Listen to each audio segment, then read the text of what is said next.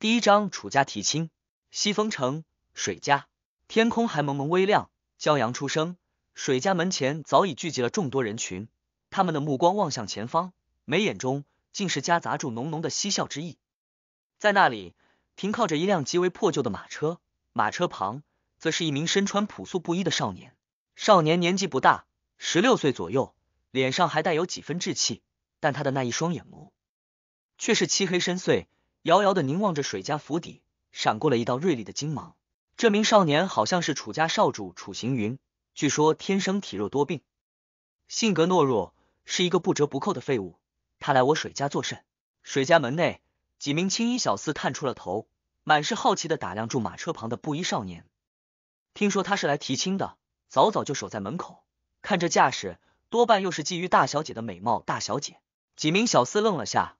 目光中充满了诧异之色。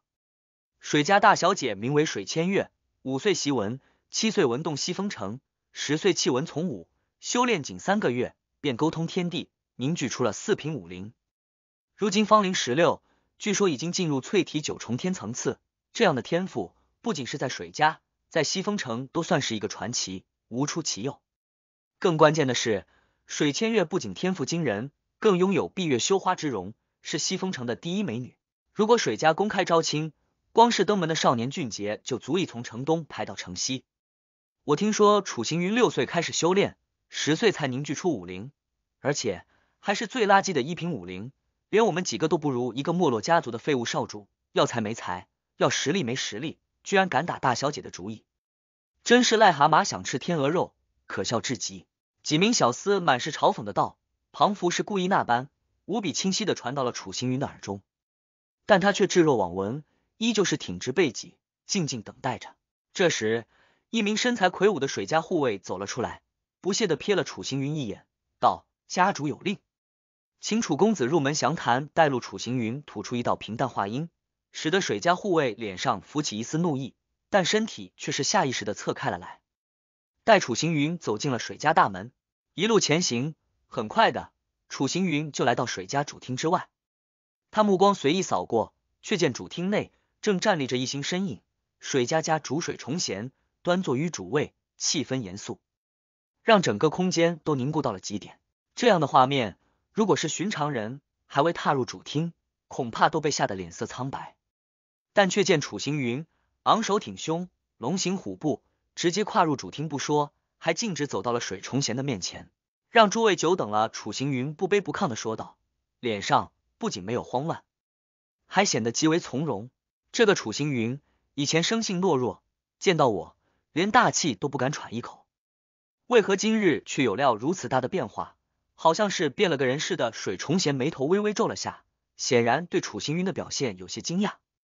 但很快，这一丝惊讶消失，水重贤恢复了原来的平静表情，开口道。距离我大寿之日还有数个月的时间，楚贤侄此次登门，怕是有些早了。水伯伯误会了，此次我来到水家，并非是为了贺寿，而是来提亲的。楚行云淡淡道：“提亲。”水重贤眼中闪过了一丝冷色。楚行云点点头，朗声道：“十六年前，水家遭遇仇杀，是我父亲出手相助，帮水家渡过难关。此事之后，水家就主动提出联姻之事。”只要双方子女年满十六岁，即可完成婚约。原来是这件事。水重贤故作恍然，低声回道：“贤侄，当年之约的确是由水家定下，但此刻你父亲却生死未卜，连踪影都无处可寻。还是等他安然归来后，再谈论此事也不迟。”那水伯伯的意思是，我父亲一日不归来，这婚约就无法完成了。楚行云目光微凝，一改刚才的平静神色，竟变得有几分咄咄逼人。贤侄，你误会我的意思了。水重贤浅笑了一声，但楚行云的神色更冷，眼神沉下，继续逼问：“那敢问水伯伯是什么意思？莫非你知道我父亲的下落？”楚行云的声音如针，充满了穿透力，直接让水重贤整个人怔在了原地。他抬起头，发现楚行云的那双眼眸好冷，冷到了骨髓，让他有种坠入冰窖的感觉，居然说不出半句话语，呼吸困难。好一个满口胡言的家伙！正当水重贤语塞之际，一道骄横的声音响了起来。话音刚落下，一道倩影便出现在众人的眼前。这是一名娇艳少女，二八年华，面容精致，将来长大后必定是祸水级别的女子。只不过，少女的眼眸中闪烁出浓浓的倨傲之色，破坏了整体的美感。此女正是水家的掌上明珠水千月。见到水千月，楚行云脸上的表情没有丝毫变化，声音犹淡：“我刚才所说的话，一字一言，全都遵从承诺，没有丝毫弄虚作假。这份情是你们水家欠我楚家的。”闻言，水千月身上散发出冷漠的气势，直接压迫在楚行云的身上，冷笑道：“楚行云，我是西风城百年难得一见的天才，天赋奇高，这辈子注定要成为叱咤风云的绝世强者。”能够让我倾心的男子，必定也是风华绝代之辈。而你性格懦弱，体弱多病，不过一个彻头彻尾的废物，根本就配不上我。你死心吧！雨落，整个大厅变得一片寂静，几乎所有人都是暗暗点头。以水千月这样的天赋，将来成就必定不可限量。能够夺得他欢心之人，必须是精彩绝艳的天才人物。楚行云显然差了十万八千里，根本没那个资格。面对注水千月的冷言奚落，出乎意料，楚行云的脸上没有一丝难堪之色，目光依旧是那般平淡，甚至乎在那一抹平淡中还夹杂住蔑视。没错，正是蔑视。就庞佛是九天神龙俯视着卑微蝼蚁那般居高临下的蔑视，蔑视水千月的话语，更蔑视了水千月不可一世的可笑姿态。你似乎有点自作多情了吧？楚行云转过头，满是嘲讽的看住水千月。笑道：“我什么时候说过，我今日前来提亲的对象是你了？我自作多情。”水千月的身体颤抖了下，整张脸都因为这句话变得涨红不已，两瓣红唇更是上下颤抖着，充满了羞涩和愤怒。不过，除了这两种情绪外，他的心中也充满了疑惑。要知道，水家有且仅有一名大小姐，楚行云不娶她，那要娶谁？第二章时间会证明一切。楚行云并没有理会水千月，转头看向水重贤，淡然道：“水伯伯，我此次提亲的对象，并非是水家大小姐水千月，而是水家二小姐水流香。”什么？水千月的瞳孔立刻紧缩起来，声音尖锐道：“你要娶水流香那个贱种？”话音回荡在主厅内，让在场的水家人群脸色都变得异常的难看，尤其是水重贤，面色不断的变换，先是苍白，然后是铁青。最后涨红如猪肝，又羞又怒。水家只有一个小姐，那就是水千月。至于楚行云所说的水流香，乃是水重贤和一名青楼女子所生，名不正言不顺，在水家，她的地位甚至还不如一名下人。此次楚行云提亲，搞得满城皆知，所有人都以为他要向水千月提亲，但最后的结果，他却放弃了水千月，选择连下人都不如的水流香。难道他疯了不成？听到水千月的话，楚行云的神色变得阴沉，声音冷漠的说道：“一个自意毁约、举止可笑之人，根本没资格诋毁留香。在我眼中，你跟他相比，简直是云泥之别。”啪！一道清脆的声响传出，让所有人都颤抖了下，目光望去，却见在主厅门外站立着一名单薄瘦小、身穿粗布衣裙的少女。她紧紧捂住自己的嘴巴，眼眶内蓄满了晶莹的泪水。刘翔、楚行云看到少女的一瞬，脸上的冷意消散，眼眸内竟有一丝感动，彷佛是看到了离别已久的爱人那般。脚步跨出，楚行云走到水流香的面前，将她的手紧紧握住，用只有自己能够听到声音，在心中暗暗说道：“刘香，这一世我绝不会让你再离开我。”看住楚行云的痴情模样，水千月双拳紧捏，牙齿咬得咯吱作响。过去五六年来。楚行云都是疯狂的追求住他，这次提亲，水千月自然以为楚行云是为他而来。可现在，楚行云不仅向水流香提亲，还当着所有人的面露出这样的爱恋之情。如果这事传出去，外人岂不是会暗中嘲笑水千月，说他连一个贱种都不如？水千月死死的盯着楚行云，怒极反笑，一个是楚家废物，一个是水家贱种，还真是门当户对，天造地设的一对。说话之间。水千月对住水重贤道：“爹，既然有人自甘堕落，要破罐子破摔，那我们也不好拒绝，就答应他好了，免得拿着承诺说事来要挟我们水家楚行云。你真的要向水流香提亲？”水重贤语气冰冷，说话的时候甚至看都没看水流香一眼，无情无义，完全不把他当成是骨肉。那是当然。楚行云立即开口回答，无比认真的道：“只要水家愿意将刘香许配给我，那么你们水家欠我楚家的恩情就此一笔勾销，两不相欠。我丑话先说在前头，你若是迎娶了水流香，那么她便不是我水家之人，日后不管发生何事，我水家都概不负责，而你更不会得到任何好处。”水重贤语气凝重，再三确认道：“水家不愧是名门，张口不离利益。”楚行云反击一笑，充满了不屑之意。如果我今日迎娶的是水千月，除了钱财，我还能够得到什么？听到这一番话，水千月整张脸都变得扭曲起来。楚行云不仅暗讽水家势力，还羞辱了他，说他无才无德。见水千月咬牙切齿的样子，楚行云脸上的不屑之意更浓，继续道：“而娶了刘香，虽然我只能拥有她，可是对我来说，她胜过一切。”楚行云骄傲的挺起胸膛。言语铮铮，让水流香终于忍不住汹涌的泪意，晶莹泪水划过了脸颊，秘密而下。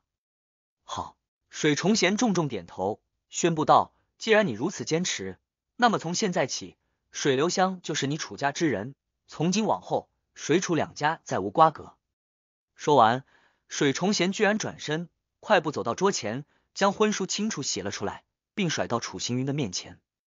千八水重贤面无表情的说道。实则在他心中却是充满了狂喜之意。水流香的存在对水家来说根本是可有可无。没想到楚行云居然会为了他亲自上门提亲，还甘愿抵消楚家对水家的恩情。这对于水家来说简直是一大惊喜。怎么，你反悔了？过了片刻，水重贤见楚行云没有任何动作，顿时有些慌了，急忙出声发问。楚行云摇了摇头。只见他伸手将水流香的青丝挽起，凝视着那张清秀的面容。论容貌，水流香不及水千月，但他的眼眸中却充满了善良和纯真，如一朵盛开的青莲，沁人心脾，让人想捧在手心里细心呵护，全心全意对待。刘香，你愿意嫁给我吗？楚行云深深吸了口气，一字一句无比清晰的说道：“云哥哥。”水流香身躯微颤，那好不容易止住的泪水。又流了下来。在他很小的时候，娘亲就因病而死，一个人孤苦伶仃的活着。之后，他被接到水家，情况并没有因此好起来，反而是受尽折磨，过着连下人都不如的悲惨生活，毫无地位。在那段日子，只有楚行云会对他好，默默保护着他。这一切的一切，水流香都记得，甚至他还天真的想过，以后要成为楚行云的妻子。今天。这个梦实现了，楚行云当着所有人的面向他求亲，我愿意。水流香微微点头，刚说完，楚行云就将他抱了起来，高兴的大声欢呼。看到楚行云喜不自胜的样子，水千月心里有种酸溜溜的感觉，开口嘲讽道：“真是鱼找鱼，虾找虾，癞蛤蟆找青蛙。”话音极为的刺耳，让楚行云身体一顿，双眼阴冷的眯了起来，冷声道：“我再次奉劝一句。”做人别太自以为是，话也别说的太满。竖起一根手指，楚行云断然道：“一年后，皇朝五大五府将会公开选拔，到那时，我会让你知道谁才是坐井观天的癞蛤蟆。”一年，水千月高傲的扬起下巴，轻蔑道：“别说一年，就算十年、百年，你也远远不及我，只能蜷缩在阴暗的臭水沟里，永远仰视住我，是吗？”楚行云没有继续辩驳，目光冷然的环视一周。将水家人群所有的嘲讽表情都记在了心中，旋即拉着水流香转身离开了水家。他的步伐很坚定，没有丝毫的犹豫，因为他知道时间会证明一切。第三章千年如一梦。两人走出水家，围观人群纷纷投以嘲讽的眼神。刚才在水家主厅发生的事，他们多多少少听到了一些，但听到跟看到完全是两回事。一看到楚行云带着水流香出现，他们都笑了，笑声中充满了不屑。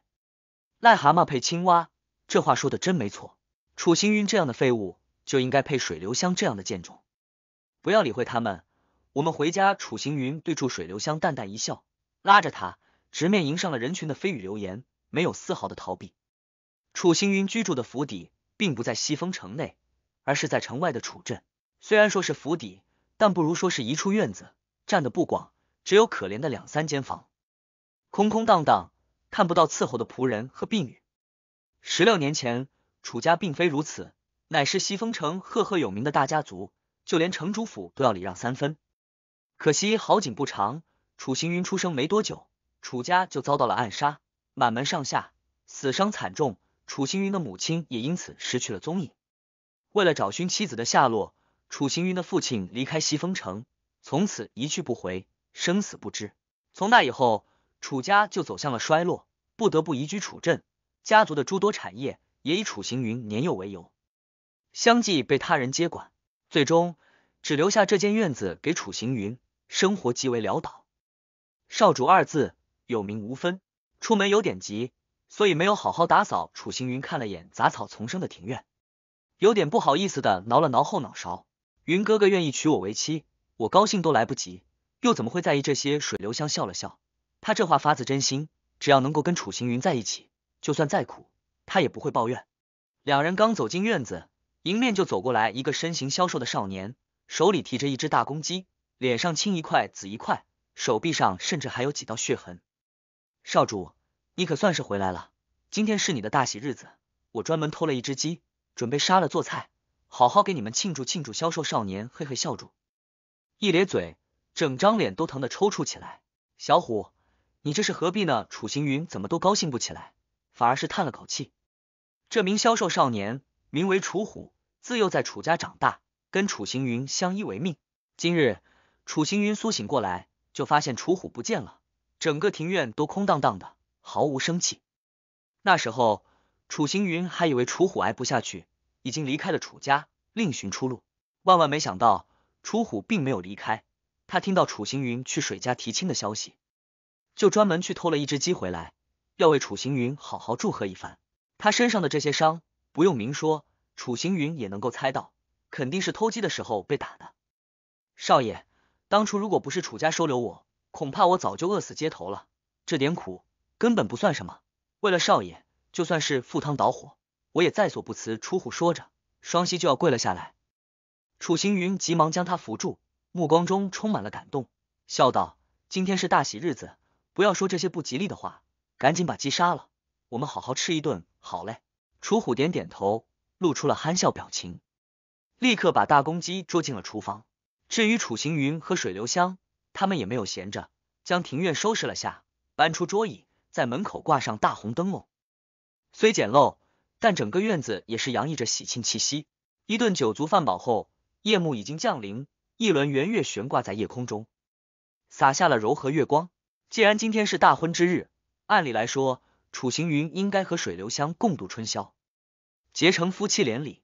但吃晚饭后，水流香就满脸通红的窜进房间，还把门锁上了。这一幕顿时让楚行云有些哭笑不得。他心里清楚，水流香对他是真心实意的，但水流香的年龄太小，只是十五岁的小姑娘，还没做好行男女之事的准备。少爷，这时楚虎洗完了碗，他顺着楚行云的目光。看向了水流香的房间，脸上立刻露出一丝别有深意的笑容，道：“我记得在仓库里似乎有备用钥匙，要不我给您取来？”你这家伙，少爷，我是那样的人吗？楚行云白了楚虎一眼，低声喝道：“小滑头，净想这些东西，还不赶快去睡觉？”哦，楚虎撇了撇嘴巴，一溜烟直接回自己房间去了。看住楚虎离开的背影，楚行云没好气的摇了摇头，不过。这种气氛让他感觉很舒服，有一种家的温暖。回到自己的房间，楚行云并没有立刻睡去，而是盘坐在床榻上。只见他深深的吸了口气，闭合的双眼陡然睁开，眉心处竟是有一道金芒绽放出来，凝聚成一枚婴孩拳头大小的玉石，落在了楚行云的手中。看住这枚熟悉的玉石，楚行云怅然一笑，仍是感觉有些不可思议。在今天之前，他清楚的记得。自己正在天灵山巅苦修，眼看就要踏入地境之时，一柄长枪透胸而过，刺穿了心脏。动手之人是楚星云的结拜兄弟，十大武皇之一的奥阳武皇萧行天。此人和楚行云结识于无尽孽海，那时萧行天被无数强者围攻，已经到了走投无路的境地，是楚行云救了他，助他解围，帮他疗伤。从那以后，他们两人志趣相投，便结拜为兄弟，一同闯荡真灵大陆，入秘境，杀强敌，夺秘宝，情谊之深，比亲兄弟还要深厚。但最后，萧行天却背叛了楚行云，暗中偷袭，让他身死当场。此前，楚行云仍是难以相信这个事实。当一片黑暗笼罩，他再度睁开双眼，却惊讶的发现自己回到了十六岁。一想到这里，楚行云就陷入了悠远的回忆中。还记得上一世，楚行云大病痊愈后，就急急忙忙跑去了水家，向水千月提亲。最后的结果，不仅被水家拒绝，还被水重贤打成重伤，赶出了西风城。那时候，楚行云几乎觉得自己要死了，是水流香帮他疗伤，还给他找了住的地方。一直照顾着他，直至痊愈。也正是那一段时光，让楚行云深深的爱上了水流香。两人离开西风城，隐姓埋名，在流云皇朝内流浪，过着风餐露宿的生活。那时虽然很苦，但他们都拥有彼此，脸上洋溢着幸福的微笑。但好景不长，他们不幸遭遇了兽潮的袭击。水流香为保护楚行云，惨死在妖兽爪下。那一幕，楚行云永远也不会忘记。深深印刻在脑海中。在经历了九死一生后，楚行云活了下来。尽管天赋低下，但凭脊柱对生存的敏锐，他闯荡了整座真灵大陆，得到诸多奇遇，最后成为叱咤风云的霸天武皇。千年时光宛若一场梦幻，既然上天又给了我一次机会，我一定不会让当年的遗憾再发生。楚行云握紧了拳头，在心中默默发誓之时，脑海中缓缓浮现出两道熟悉。而又陌生的身影。第四章轮回天书。在上一世，楚行云成就霸天武皇之名，名动天下，寿命更是长达千年之久。这段悠长岁月中，说得上遗憾的只有两件事：第一是水流香的死，第二则是楚行云亲生父母的下落。所有人都知道，在楚行云出生后，楚家就遭遇了暗杀，楚行云的娘亲不知所踪。他的父亲为追查凶手，离开了西风城，整整十六年都未曾出现过。但真相并非是如此。当年楚行云被赶出西风城之前，无意中再遇到了醉酒的水重贤。从水重贤的口中，他惊讶得知，当年的暗杀原来是水家和云梦五府串通好的，要强行掳走楚行云的父母。云梦五府乃是流云皇朝的五大五府之一，传承数百年。连皇族都不敢小觑，跟云梦五府比起来，莫说是楚家，整座西风城都显得很渺小。也正是因为有云梦五府的介入，楚行云的父母才会被掳走。楚家死伤无数，甚至被谣传成是遭遇了暗杀，无人胆敢追查。那时听到真相的楚行云，恨不得把水重贤杀了。无奈的是，他实力太低微，根本无从下手，只能把这个秘密埋藏在心里。当初我知道了真相，苦于没有实力报仇；而当我真正拥有实力之后，此事已经过去了数百年。流云皇朝早已物是人非，水家没落，云梦五府被灭。不管怎么追查，都没有半点头绪。楚青云深深的叹了口气：“造化弄人这四字，他深有体会。这一次，楚青云穿越千年，重回十六岁，他必定会弥补这两大遗憾。不仅要让水流香永远陪在他身边，还要前往云梦五府。”寻找亲生父母的下落。云梦五府势力庞大，现在的我根本无法与之匹敌，暂且先从水家下手。今天我两度逼问水重贤，从他的反应看，他肯定知道诸多内幕。楚行云眼眸闪烁，在心中思索住。时间缓缓流逝，不知不觉中，夜已经深了。楚行云没有再继续深思，而是将目光落在手中的玉石上。说起这一枚玉石，也是颇为玄妙。上一世，楚行云为了寻找踏入地境的契机，便进入天灵山内闯荡。这枚玉石正是那个时候得来的。我被萧行天偷袭后，莫名其妙的回到了十六岁这年，但这枚玉石并没有消失，依旧跟随着我。难道这一切都是因为这枚玉石？昔日得到这枚玉石之后，楚行云就没少研究，但不管他尝试何种办法，这枚玉石都没有丝毫的动静。没想到。正是这枚神秘玉石，在楚行云魂消魄散的一瞬间，带他回到了千年之前。太玄妙了！如果不是亲身体验，楚行云绝对不会相信会有这样的事存在，因为生与死根本不是人力可以掌控的，就算是传说中的地境强者，也不能够左右生死，必须遵循天地法则。正当楚行云疑惑不解的时候，一股迷蒙光芒陡然从玉石里面射出，凝聚成一道巨大漩涡，将楚行云的身体都笼罩住。楚行云只感觉一阵天旋地转，当他恢复意识的时候，发现自己来到了一个陌生的地方，这里似乎是一处密闭的空间，六面环绕，整个空间都弥漫着点点微光，完全没有一丝生机，显得有些阴森。奇怪了，当年我研究如此之久。都没发现玉石的秘密，怎么现在他却自行出现了异象，还把我带到这个地方？楚行云越来越感觉到疑惑，目光向前看去，发现在空间的中央处耸立着一座石台，他急忙走了过去，发现石台上摆放着一本黑色古书，除此之外就没有其他的东西了。这古书很薄，只有寥寥几页而已，通体呈现出漆黑颜色，上面也没有书写任何文字。完全无法判断来历。楚行云脚步踏出，走到了黑色古书的面前。不过他并没有急着去翻阅，而是颇为谨慎的查探住四周。过了一会，周围并无异样，楚行云这才将黑色古书拿起，翻开了第一页。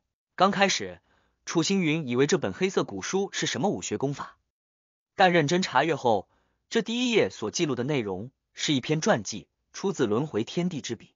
也正是这一篇传记。让楚行云明白了一切。我在天灵山得到的这枚玉石，名为轮回石，是轮回天地的本命之物，能够颠倒轮回，让将死之人回到过去，重新开始新的一生。在我临死之前，鲜血浸染轮回石，无意中激发了轮回石的神效，至于轮回天地。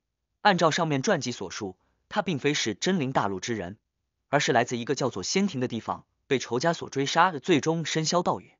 这枚轮回石却被保留了下来，遗落在天灵山内。楚行云知道了这些，并没有感觉到无比的吃惊。当初他闯荡真灵大陆，进入了许多秘境，早就知道在真灵大陆之外还存在着各种各样的玄妙世界。轮回天地所说的仙庭，很有可能就是其中一个世界，而且这个仙庭必定要比真灵大陆要强悍千百倍。起码在真灵大陆内，楚行云从来没看到过轮回石。更没听说过谁能颠倒轮回，重返过去。古书上还说，我所处的这片空间位于轮回石内部，时间流速跟外界截然不同。外界度过一日，这里却度过整整五日。换言之，如今我在这里修炼了五天，外界才过去了一天。楚行云眼眸中爆发出狂喜之色，显得很是激动，迫不及待的想要翻开古书的第二页。然而，他用尽所有的力气，都无法翻开古书的第二页。就连整本古书都变得异常沉重起来，双手一松，立刻落回了石台，重新变成原来的模样，庞佛什么事情都没发生过，这是怎么回事？楚行云猛地皱眉，下一刻，他看到石台上浮现出一行文字：进入巨灵境，方可继续查阅轮回天书。轮回天书。楚行云再次将目光盯向那一本黑色古书，将这个名字默默记在脑海中。他有种预感。轮回天地之所以将轮回天书留下，并且设下这样的限制，必定是有什么不可告人的秘密。说不定这跟轮回天地修炼的轮回之道有关。第五章恶人上门。轮回之道又被称为生死之道。据传记所叙述，轮回天地是万年难得一见的绝世天才，参悟天地生死，眼穿红尘，最终创造出独一无二的轮回之道。掌控轮回之道的他，即便在强者无数的仙庭当中。都是数一数二的存在，可以随意颠倒时空，轮回生死，几乎可以说是不死不灭。最后他为何会陨落？传记上并没有明说，但毋庸置疑的是，轮回之道的强悍，已经完全超越了楚行云的认知。哪怕是得到一招半式，都可以让他受用终生。我要努力修炼，争取早日突破到巨灵境界，好好看一看轮回天书隐藏着什么秘密。楚行云低声呢喃了一声。脸色并没有因此而变得凝重，反而极为兴奋。他此刻修为是淬体境二重天，距离巨灵境还有整整八个层次。在别人的眼中，这或许很困难，但对楚行云来说，并不是什么难事。表面上，他只是十六岁的少年，实则脑海中拥有着千年记忆，所掌握的功法武学更是繁若星辰，数不胜数。更何况在轮回石内修炼，一日抵得过五日，这更是让楚行云充满了信心，可以在短时间内踏入巨灵境界。咕噜噜，想着想着，楚行云就感觉有些肚子饿了。离开轮回石的那空间，他惊讶的发现窗外已经升起了一轮骄阳。原来他在不知不觉当中就在轮回石内待了如此之久。走出房间，大厅中水流香早就做好了早餐，正准备去叫楚行云吃饭，而楚虎这个家伙则是流着口水，把昨天吃剩的鸡汤端了出来。整座庭院内都充满了食物的香气，画面很是温馨。不过，偏偏在楚行云开心的时候，一道轰鸣声响起，楚家的大门突然被踢了开来，力道之大，让整扇大门都变成粉碎。楚行云，立刻给我滚出来！否则就别怪我手下无情。一道无比冷漠的声音响了起来，让楚行云的目光凝固在那里。三人立刻走了出去，却见在门外站着一名锦袍少年，脸上充满了倨傲，在他的腰间还别住一柄无齿长剑，剑芒闪烁，浑身散发出一股凌厉气息。楚行云看到此人，脸色沉了下去。楚阳，你这是什么意思？眼前这名锦袍少年名为楚阳，同样是楚家之人。十多年前，楚家正值衰落，家族内的三名长老就暗中勾结，以保全楚家香火为由，各自瓜分了楚家的诸多产业和财富。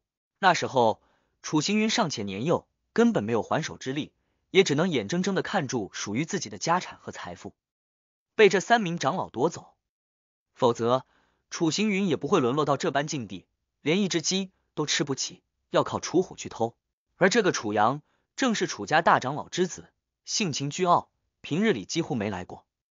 让楚行云万万没想到，今天楚阳居然不请自来，一脚踢碎大门不说，还出口威胁。楚行云，你昨日在水家的事，现在已经传得满城皆知。你这个没出息的狗东西，居然娶了水流香这个贱种。今天我过来，目的很简单，把家主金印交出来。从此以后，你楚行云不再是我楚家少主。更没资格自称是楚家之人。言及于此，楚阳高傲的扬起头颅，语气霸道：“毕竟你的存在只会让楚家蒙羞，还不如趁早划清界限，免得日后没脸见楚家的列祖列宗。”楚行云不怒反笑，问道：“家主金印，你凭什么让我把金印交给你？”话音刚落，楚阳的脸色就阴沉下来，冷漠道：“就凭我是淬体四重天修为，今日你若是不拿出家主金印，休怪我不念旧情。”手掌猛然一抽，楚阳将长剑握在了手中，剑光闪烁不休，寒气逼人。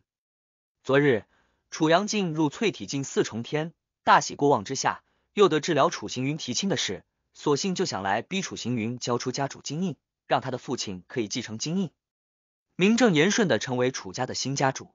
如此一来，他不仅可以提升地位，还能够得到更多的修炼资源，百利而无一害。感受到楚阳身上的冷意。楚行云脸上没有丝毫表情，眼神微微凝固，陡然吐出一道冷漠字音：“你滚吧，家主金印根本不属于你。”见楚行云如此嚣张，楚阳心中顿时涌出一股怒意。好你个楚行云，既然你敬酒不吃吃罚酒，那就别怪我心狠手辣。说罢，楚阳身上绽放出一股土黄色光芒，胸口挺起，全身骨骼传来一阵啪啦声响，肌肉骤然膨胀开来，将身上的衣服都撑起。更为惊人的是，他的身后出现了一尊独角蛮牛虚影，仰天猫叫，让楚阳整个人的气势都变得蛮横起来，卷起阵阵狂风。这独角蛮牛，赫然正是楚阳的武灵，位列二品层次。四，楚阳低喝一声，单手持剑，立刻向前冲了出去，直接斩向楚行云的胸膛要害。本来楚阳并不想对楚行云下手，毕竟楚行云是楚家少主。虽然是个不折不扣的废物，但在名义上地位却远远高于他。正是因为这个原因，十六年来楚家三名长老都没有出手逼过楚行云。可今日楚行云竟如此嚣张，不但拒绝交出家主金印，还让他滚出去，摆出一副高高在上的模样，这让楚阳再也忍不了。找死的是你！楚行云也怒了，整个人不退反进，快一步来到了楚阳的面前。只见他左手如蛇。紧紧缠住了楚阳的手臂，右掌则是紧握成拳，朝住楚阳的肩膀重重轰去，身上的所有力气在这一瞬间爆发开来。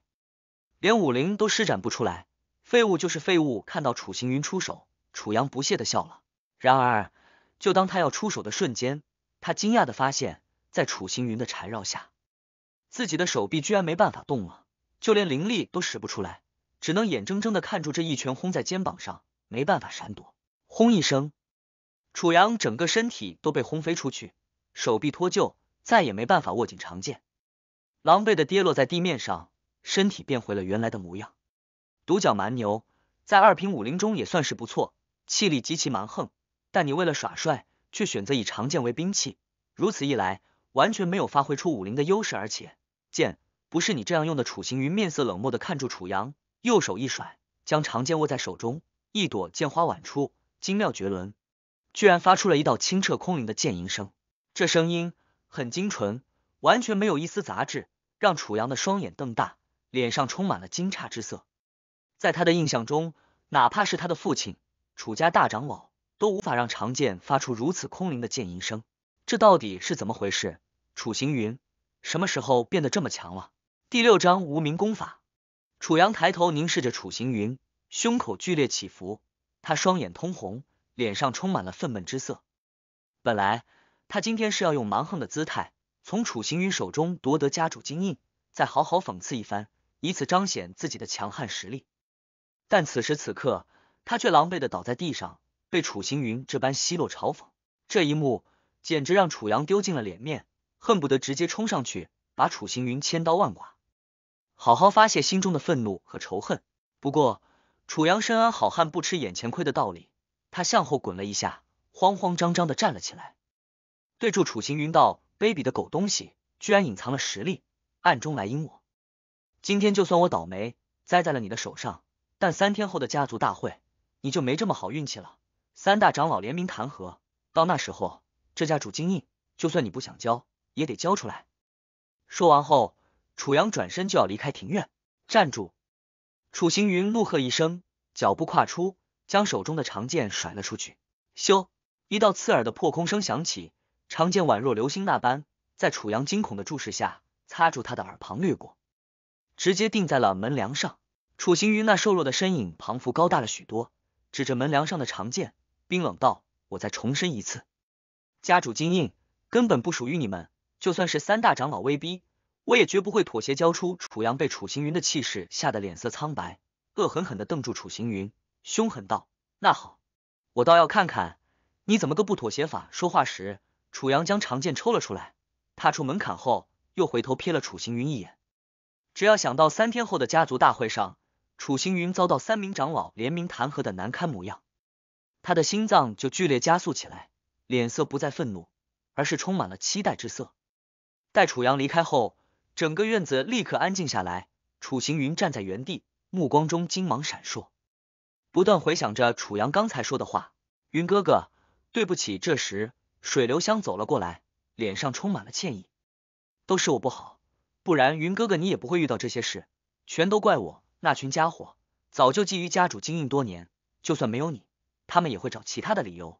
你不用放在心上。楚行云揉了揉水流香的发丝，神色坚毅道：“不过你放心，这次家族大会，我绝对不会让他们的奸计得逞。”回到房间，楚行云将房门关上，直接进入了轮回石的内空间。家族大会上，三名长老肯定会百般刁难，逼我交出家主金印。尤其是在修为境界上，肯定会大做文章。楚行云目光微微沉下，真灵大陆以武为尊，实力是一切的根本所在。今日楚阳胆敢上门挑衅，就是仗助修为比楚行云高。如果楚行云是武皇境界，莫说楚家，就连流云皇朝的君王也要对他俯首帖耳。一想到这里，楚行云不再沉思，双膝盘坐而下，立刻捏动出一个繁杂的手印。您。沉默片刻，楚行云微闭的双眸睁开，顷刻间，他体内的灵力开始翻滚起来，宛若是一团火焰在体内不断的燃烧。这一丝丝火焰在楚行云体内穿行着，最后融入了全身的每一块血肉。此刻，楚行云所修炼的功法并无称谓，乃是他上一世闯荡真灵大陆的时候，在一处上古遗迹中寻的武学和功法，共分为人、灵、圣、天。造化这五大等级，但这部无名功法却极为古怪，并没有标注任何的等级。不过，无名功法的强大却无需质疑，除了能够提升修炼速度之外，还有一个极为逆天的能力——改造武灵。众所周知，人类只要感应到天地灵气的存在，就可以沟通天地，在体内凝聚出武灵，也唯有凝聚出武灵，方可称之为真正的武者。武灵的形态万千，拥有的力量也截然不同。根据武灵的强弱差别，共分为九个品级。一品武灵最为弱小，九品武灵最强大。水千月之所以被称之为西风城第一天才，除了他的修炼速度极快之外，武灵也是一个尤为重要的因素。四品武灵，穷极整座西风城也找不出第二人，可见其稀有程度。按照常理来说，武灵本是天地所赐予。根本无法用人力更改，无名功法却是例外。它不仅可以吞噬他人武灵，还能够吸取精华，以此作为本源来改造修炼者的武灵，从而让武灵的品级不断提高。也正是因为这部无名功法，楚星云才能从一个默默无闻的废物少主一跃而上，成为赫赫有名的霸天武皇。然而，无名功法虽然逆天，却也有巨大的缺陷。修炼无名功法后，修炼者虽然能吞噬他人的武灵，却只能吞噬高级别的武灵。换言之，如果你的武灵位列三品，你要想吞噬武灵，只能选择三品或者三品以上的武灵。一品武灵和二品武灵都无法吞噬，就高不就低。这一个缺陷很是古怪。经过楚行云的研究后，他可以很明确的断定，这部无名功法并不完整，是残缺的。上一世我得到无名功法之时。已经迈入中年，错过了最佳的修炼时期。现在的我年纪尚小，或许能够把无名功法修炼圆满，同时将我的武灵提升至九品层次，乃至更高。一想到这里，楚行云心中充满了豪爽之气，心念微动，一道长剑虚影出现在他的身后。这柄长剑就是他被人取消的废武灵，位列一品，几乎没有任何作用。就连铁匠铺售卖的长剑都比他的武灵强。但楚行云的目光中没有一丝的嫌弃，双目微微闭合，立刻进入了修炼状态。借助着上一世的修炼经验，楚行云利用微弱的灵力，不断淬炼住武灵。片刻过后，很快就完成了一个大周天。一股剧烈的疼痛感突然传来，让楚行云的脸色变得无比苍白，就好像是武灵要被活生生扯断了那样，疼得浑身发抖。如果是别人遇到这种情况，早就昏死过去。但楚星云却咬紧牙关，以强大意志坚持着，哪怕浑身颤抖，冷汗冒出，都没有选择放弃。给我破！楚星云深吸一口气，将灵力朝着武灵轰击过去。轰！一声闷响从体内传来，居然间，那股疼痛感如流水般消失。悬浮在面前的长剑顿时发生了变化，浑身上下都笼罩着一抹朦胧微光。论品级，依旧未变。仍是最垃圾的一品武灵，但细细查探，却会发现这柄长剑上散发出一股玄妙的气息，就庞佛是淬炼而出的剑胚，日后必定能够锋芒毕露，成为无上灵剑。不愧是无名功法，在改造武灵的同时，居然让我成功突破，踏入了淬体三重天层次。楚行云感受住体内的浑厚灵力，脸上露出了一抹喜悦的表情。但没过多久，这一抹喜悦消失。他反而是眉头紧锁，显得有些凝重。六个时辰的时间，成功修炼无名功法，并且从淬体二重晋升到淬体三重，如此进度已经极其的骇人。但这样的实力依旧无法震慑三名长老，家主金印也很难保住。如果拥有足够的灵材和丹药，我可以将修炼速度再提升一倍。只可惜楚家所有的家产都被人抢走，现在的我。跟乞丐没多少区别。楚行云狠狠咬着牙，先不说丹药，就算是最便宜的一级灵材，也需要数百两银子。这对一穷二白的他来说，无疑是一笔巨款。而且他修炼的是无名功法，越是修炼到高深境界，就需要更多的资源。要想吞噬他人的武灵，也同样需要强悍的修为，否则只会遭遇到强烈反噬，伤及性命。这两点都让楚行云感觉到深深的无奈。有了！正当楚行云烦恼的时候，一道流光陡然在他的脑海中闪过，他仿佛是癫狂了那般，哈哈大笑起来，甚至自言自语，嘲讽自己太愚笨。明明拥有一座巨大的金山，还为了几百两银子而苦恼。上一世，楚行云是叱咤风云的霸天武皇，游历整座真灵大陆，阅历丰富无比，全都深深记忆在了脑海中。虽说他现在重回十六岁，修为不在，但这些记忆却并没有消失。在他的记忆中，除了无名功法之外，还有许多的武学和功法，随便拿出来一本，也足以在西风城造成不小的轰动。第七章碧波九叠浪，想到就做。楚行云立刻找来了笔墨，慢慢回想起一套名为碧波九叠浪的掌法。碧波九叠浪位列灵阶中级，已经是楚行云记忆中最低级的武学。如果不是掌法较为巧妙，他早就抛之脑后。我记得水家的镇族武学，也就是灵阶中级层次，这套碧波九叠浪在西风城应该算得上是顶尖武学，价格应该不会太低。在流云皇朝境内，西风城处于西北部，只不过是边陲小城，修炼资源并不丰厚，大多数武者都只是修炼人阶武学，也只有那些大家族才拥有灵阶武学，而且从不外传。当成是镇族之宝，毫不夸张的说，一本灵阶武学足以打破各大家族的实力平衡，就算是城主府也会心动不已，想要将武学买回去。怀揣着激动心情，楚行云将碧波九叠浪的修炼心法书写在了纸上，同时还在上面绘画住九式掌法。这一过程就不再轻松了。楚行云的眼界虽高，但体内的灵力太稀薄，每绘画一式掌法都会耗光所有的灵力。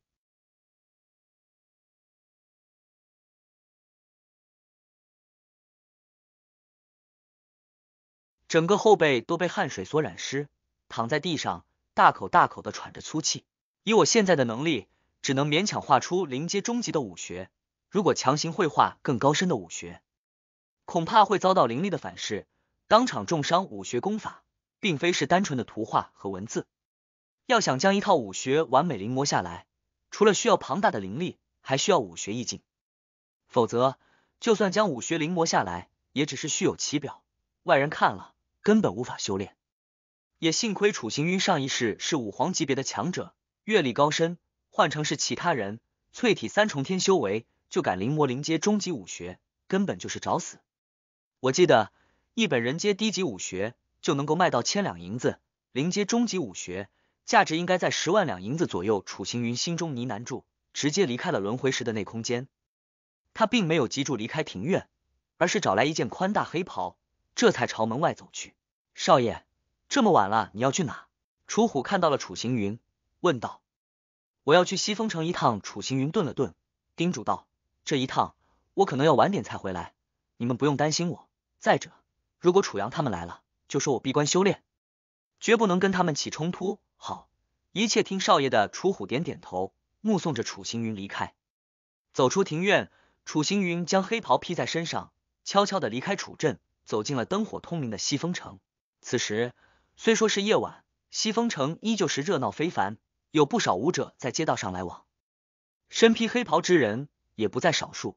没人注意到楚行云，顺着记忆，楚行云穿过了一条条街道，来到了方市。方市是武者的天堂，共分为三大区域：交易区、拍卖区、武斗区。流云皇朝共有六十四座城池，每一座城池都设有方市。传闻。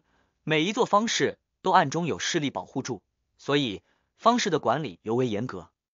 遍布高手强者，谁敢哄抢闹事，都会被瞬间杀死。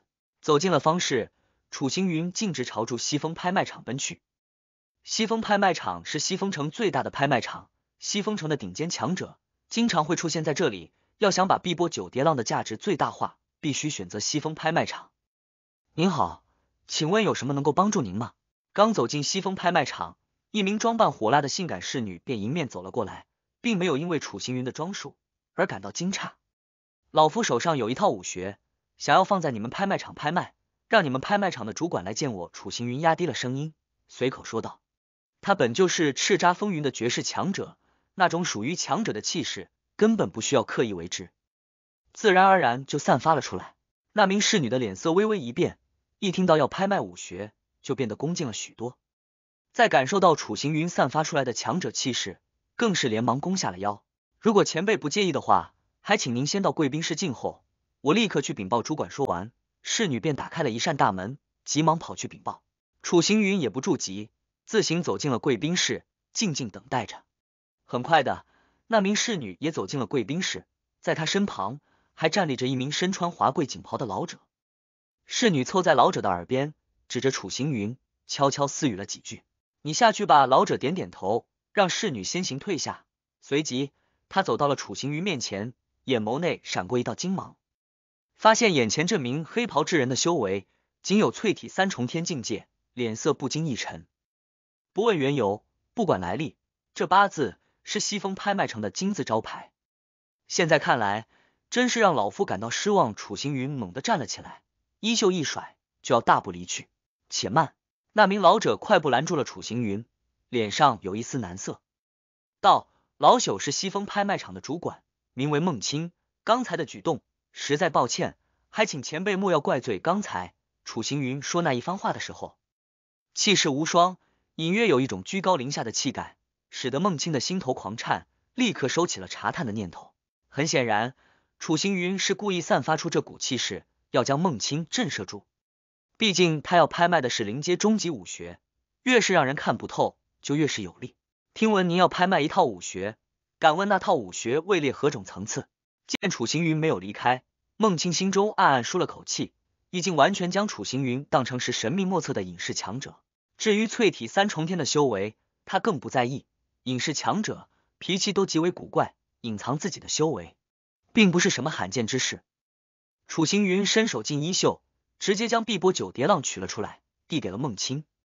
我要拍卖的就是这套灵阶终极的掌法。楚行云语气平淡。孟青刚接过碧波九叠浪，听到楚行云的话，心头猛地一惊。这个神秘强者居然要拍卖灵阶武学，而且还是终极层次。他深深吸了口气，目光一过，将纸张小心翼翼的展开，仔细研究了起来。